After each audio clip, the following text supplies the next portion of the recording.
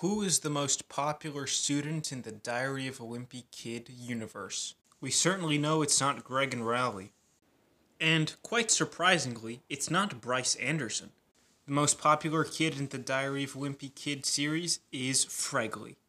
Despite his physical stature, Fregley has incredible athletic abilities.